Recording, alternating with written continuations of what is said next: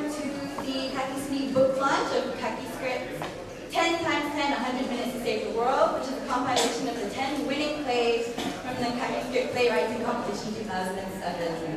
Um, we'd like to invite Wiley Nazmi up on stage to say a few words.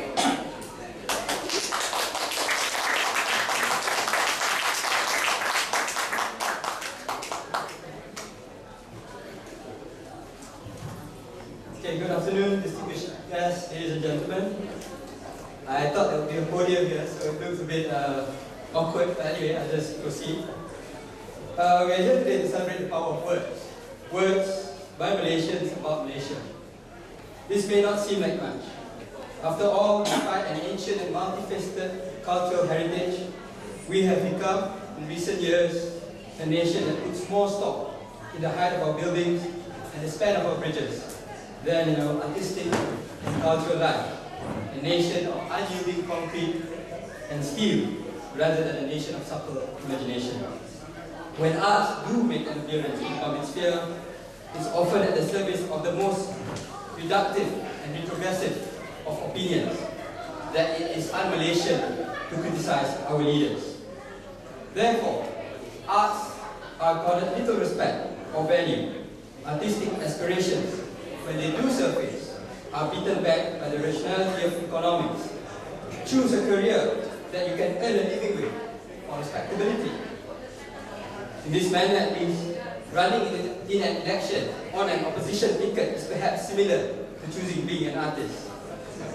Literature is a dispensable subject in our school curriculum. In one year out, in one year out the next, it seems, and our policymakers and politicians seem incapable of formulating comprehensive, effective programs to democratize access to the arts. At the same time, I believe that as in all cultures, we need to appreciate a level of decency and respect even in our art. Yet, we must accept that the realities of modern technology are rendering many of our laws irrelevant. Finding the balance to promote artistic freedom while combating or marginalizing racism, religious hatred, and other forms of hate speech is a very tough call indeed. I am mindful how this is a slippery slope that may lead to repression. When political regimes taken on the adjective repressive, when politicians morph into dictators, it is often the poet, the novelist, the playwright, and the artist who is most vulnerable. Think of Dostoevsky in Russia, or closer to home, Pramoedya Ananta Toer, artists persecuted or sent to exile for the power of their works. Interestingly, Pramoedya is the only, uh, I wrote a book, uh, sorry, a review of uh, book in Kakiseni a few years back. The only piece I've ever contributed to Kakiseni. Is it not interesting, therefore, how much words are feared? Books are routinely banned.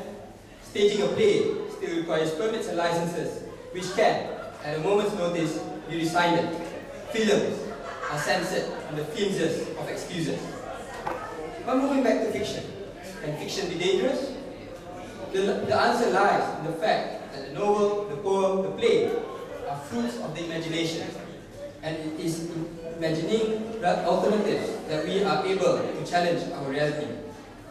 The 10 winners of the inaugural Kakiscript playwriting competition organized by kakiseni.com do precisely this in 10 times 10, 100 minutes to change the world.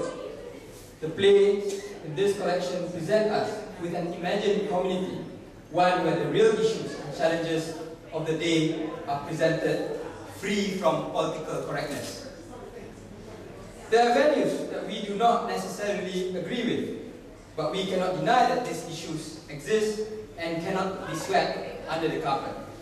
Provocative literature forces us to think rather than blindly accepting what is being told.